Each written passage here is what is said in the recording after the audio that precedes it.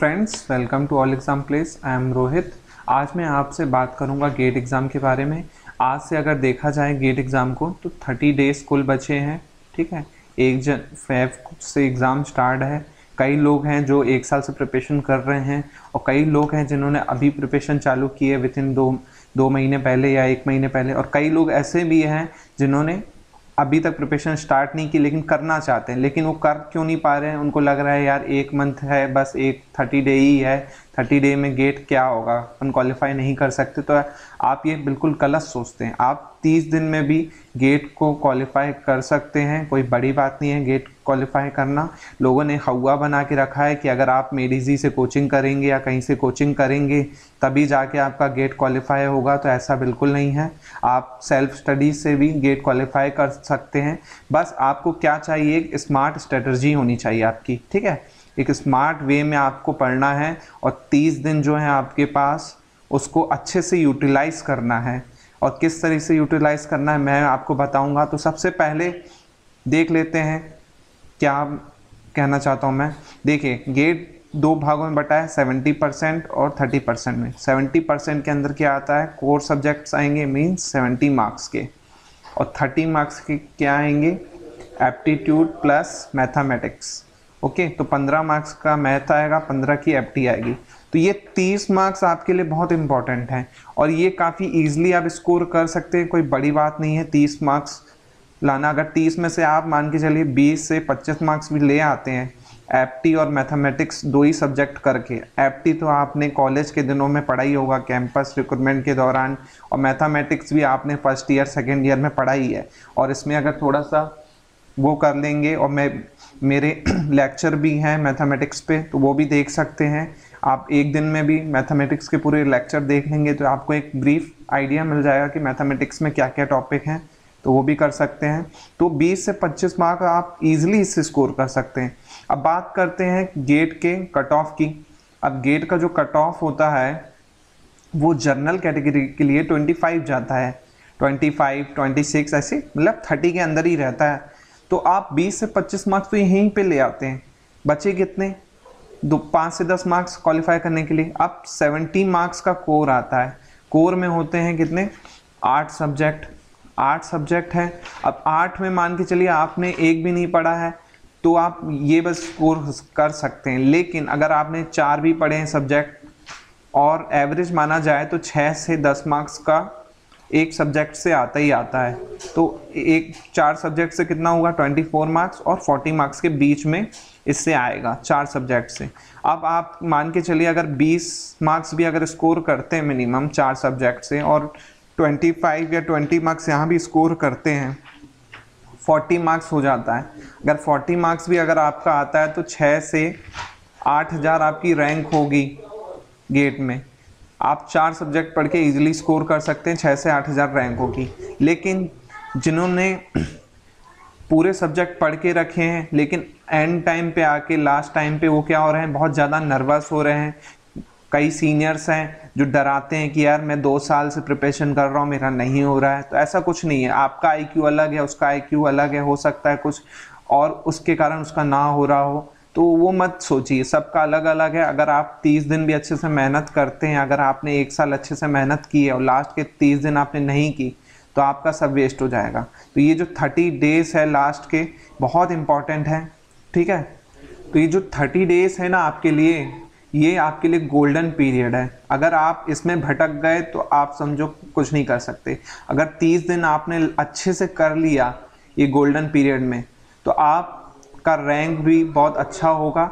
मैं इतना तो नहीं कहूँगा कि आप रैंक वन ले आएँगे, लेकिन आपने अच्छी प्रिपरेशन की है तो वन थाउज़ेंड से टू थाउज़ेंड रैंक के बीच में इजीली आप ला सकते हैं। कोई बड़ी बात नहीं है लाना। तो आप अपने आप को कम मत समझिए किसी से और किसी के इन्फ्लुएंस में मत आइए। आप अपने पे भरोसा रखिए। चेक कीजिए कि मैंने गेट में कितना पढ़ चुका हूँ। मैथ और एप्टी हो चुकी है तो थर्टी मार्क्स तो मैं यहाँ से ला सकता हूँ। उसके बाद अगर मैंने चार सब्जेक्ट भी टेक्निकल पढ़े हैं तो मैं यहाँ से 24 टू 40 मार्क्स स्कोर कर सकता हूँ तो ओवरऑल देखा जाए तो 45 टू 60 मार्क्स के बीच में ईजिली मैं ला सकता हूँ। और कई लोग हैं जिन्होंने पूरा सब्जेक्ट कंप्लीट कर दिया है, आठ या कोर्स सब्जेक्ट पढ़ चुके हैं एफ़ टी मैथमेटिक्स सब पढ़ चुके हैं तो उसके लिए क्या करें आप? बस प्रैक्टिस करें क्वेश्चन लगाएँ और लास्ट बात मैं बताना चाहता हूँ नर्वस बिल्कुल ना हो। ठीक है नर्वस होने के कारण ही कई लोग का पढ़ा हुआ सब कुछ रहता है, लेकिन एंड टाइम पे आके सब कुछ ब्लैंक हो जाता है। तो नर्वस के कारण ही सब कुछ आप भूल जाते हैं तो वो बिल्कुल ना हो। तो मेरी यही सलाह रहेगी कि आप 30 दिन है तो इसको वाइसली यूज़ करें। तो मैं आपको अपने हिसाब से एक स्ट्रेटर्जी बताता हूँ 30 दिन को आप कैसे यूटिलाइज कर। अब देखिए, मैंने आपको बता दिया, अब 30 डेज़ को आप कैसे वाइसली यूज़ करें, वो मैं बताता हूँ। अब देखिए मैथमेटिक्स जिन्होंने नहीं किया है, उसको आप फाइव टू सेवन डेज़ दें कि ताकि आपके पंद्रह मार्क्स स्कोर कर सकें। और एप्टी ऐसा है, पाँच से पाँच दिन मैक्सिमम भी देंगे तो आपका हो जाएगा तो पंद्रह मार्क्स यहाँ हो गए। थर्टी मार्क्स हो गए, आप थर्टी मार्क्स का कवर कर लिया सिलेबस कितने दिन में? दस दिन में। अब रिमेनिंग आपके पास बचे कितने? बीस दिन बचे। अब बीस दिन बचे हैं तो चार दिन एक सब्जेक्ट को दीजिए। टेक्निकल सब्जेक्ट ठीक है? तो आपके पास कितने दिन बचेंगे? चार दिन एक टेक्निकल सब्जेक्ट को, चार सब्जेक्ट पढ़ना है अपने को। सोलह दिन दे दीजिए। सोलह दिन डेज़ बचे। टोटल ये देंगे आप कोर सब्जेक्ट को, ठीक है? सोलह दिन में आप चाहे कोर सब्जेक्ट कंप्लीट कीजिए और बचे रिमेनिंग रिमेनिंग फोर डेज़ बचे। अब ये जो फोर डे में आपको क्या करना है? केवल फॉर्मूला डेफिनेशंस बेसिक थोड़ा सा कॉन्सेप्ट ये बस रिवाइज करना है और हो सके तो एक दो टेस्ट ऑनलाइन लगा लें, ठीक है? उससे क्या होगा, आपको एक प्रैक्टिस हो जाएगी ऑनलाइन टेस्ट देने की। आप जब गेट का एग्ज़ाम देने जाएँगे तो एक आपका हाथ बना रहेगा कंप्यूटर पे और आप नर्वस नहीं होंगे और एक आपको एक थोड़ा एक्सपीरियंस फील हो जाएगा कि हाँ मैं ईजिली कर सकता हूँ। टाइम मैनेजमेंट आ जाएगा, कैसे, कहाँ पे देना है। तो वो कर सकते हैं। तो चार दिन आप फॉर्मूला डेफिनेशन बेसिक रिवाइज करें, ठीक है? अब कोर सब्जेक्ट की अगर मैं ईसी e का हूँ तो मैं ईसी e की बात कर लेता हूँ कि जो स्कोरिंग है सिग्नल एंड सिस्टम अगर आपने पढ़ रखा है तो तीन से चार दिन में आप पूरा अच्छे से कर सकते हैं। कंट्रोल सिस्टम ठीक है? कंट्रोल सिस्टम भी तीन से चार दिन में आप इजीली कर सकते हैं। इससे भी छः से दस मार्क्स के क्वेश्चन आते हैं। इससे आठ से बारह मार्क्स के क्वेश्चन आ ही जाते हैं। तो ये दो सब्जेक्ट तो हो गए। उसके बाद ईडीसी e और एनालॉग सर्किट ठीक है एनालॉग सर्किट में ज़रूरी नहीं है न्यूमेरिकल ही। आए इसमें कुछ कुछ ऐसा है बेसिक डायग्राम आ, जा, आ जाता है ओपैम का या किसी चीज़ का। अब पूछेगा ये किसका डायग्राम है? तो आपको वो बेसिक बस आना चाहिए।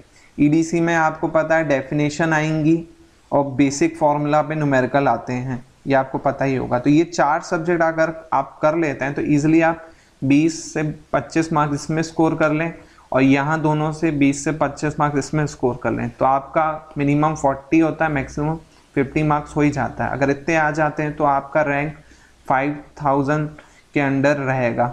ओके तो आप ये कोशिश कीजिए। और जिन्होंने आठ के आठ सब्जेक्ट पढ़ चुके हैं तो उनके लिए कोई बात ही नहीं है। वो क्या करें, बस आठ सब्जेक्ट इनके कंप्लीट हो गए वो बस इनको क्या करें? दो दिन एक सब्जेक्ट को दें और उसे रिवाइज करें। तो 16 डेज़ में आप पूरा सब्जेक्ट रिवाइज कर लेंगे।